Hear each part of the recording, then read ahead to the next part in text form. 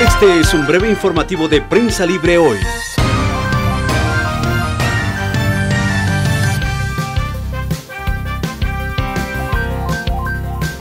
Buenas tardes, les saluda José Manuel Pazán y cuando son las 14 horas en este viernes 21 de agosto, es momento de presentarle un resumen de noticias por Prensa Libre TV.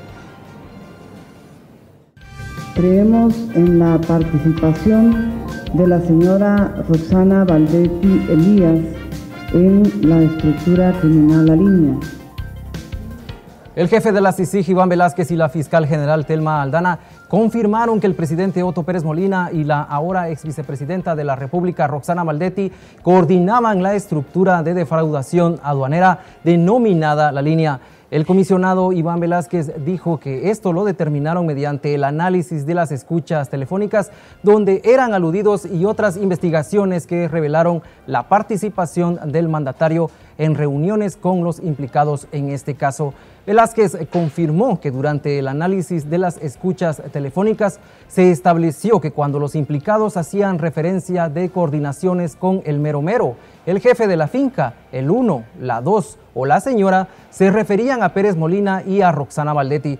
Las pesquisas, según el comisionado, concluyeron que incluso Salvador Estuardo González, alias ECO, quien permanece detenido desde el pasado 16 de abril, era quien informaba al presidente sobre las debilidades de la recaudación en las aduanas. También se informó que la Intendencia de Verificación Especial analiza los movimientos sospechosos de dinero en los cuales no se descarta la participación de Pérez Molina y Valdetti.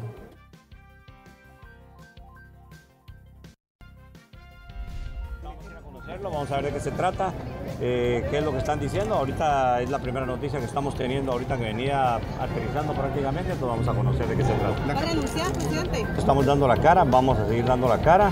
Tenemos que conocer cuáles son las situaciones y en su momento pues tendremos que pronunciar. Presidente, y en cuanto a la solicitud de antejuicio que presentó la CICI y el Ministerio Público en contra del presidente Otto Pérez Molina, el mandatario dijo esta mañana durante una actividad en Zacapa que no tenía mayor conocimiento y no sabía de qué se trataba. Respecto a la detención de Roxana Valdetti, lamentó la situación y dijo que deberá responder ante los tribunales. Tenemos que enfrentar la situación, estamos dando la cara y en su momento nos pronunciaremos, dijo Pérez Molina, quien en declaraciones anteriores ha dicho que no renunciará al cargo y terminará su mandato.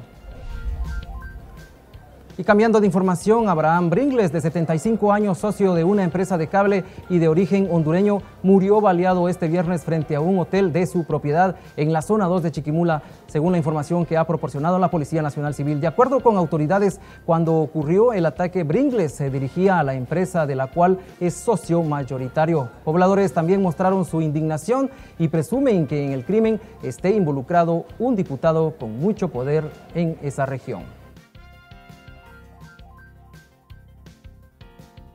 Pase feliz tarde y recuerde que a las 15.30 horas tendremos el programa Diálogo Libre. Nuestro invitado de hoy es Luis Enrique Cruz, más conocido como Veneno, candidato a la alcaldía capitalina, quien dará a conocer su proyecto de trabajo.